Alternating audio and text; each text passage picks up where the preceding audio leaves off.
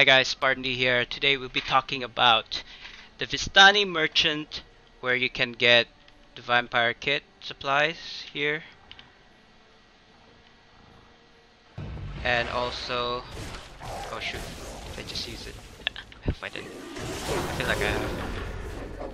Let's see that. Uh, okay, still use Vistani Merchant for the Vampire Kit or uh, the Wychwood, which is actually a mat. So here we are, right on time. It's daytime, uh, and I'm here just southeast of the old mill location. He's gonna stop right here. So what you want to do is come here during the day.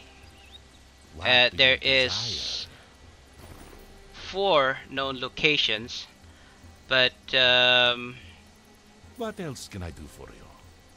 Four known locations, but I believe there's a fifth or more. Um, and I will give you guys kind of like the maps for it, but basically it's around here. Second location is here. Third location is here. And fourth location is here. Now, like I said, there could be uh, five or more. But um, yeah, I will update it as soon as I know where they are. Um, another thing to note, the Vistani merchant, once he arrives at the location, you only have 4 minutes to browse his wares.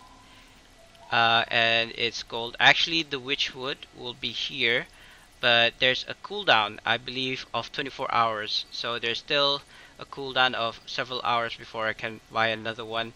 Um, this has only been the second time that I've found him. Well, not second time. Second time I've purchased a wychwood from him, and that's what it looks like. And this is important because you want it for your sunset sunset weapon sets. So I got the Barovian Nightcrawler is what you'd get from the HEs dotted all over the Barovian map. The sunset shards you get, and I got three there, uh, is a chance drop from Strahd in Castle Ravenloft. And the phosphorus moss here, um, it appears in your campaign store, but it's random, I guess. Um, like like I said, Wychwood, which is from the Vistani merchant. So I'm just gonna hang around here for a while because I want to show you what happens. Um, but going back to was it the sunset shards, the wychwood, and what was it? What's the other thing? Alright, the phosphorus moss.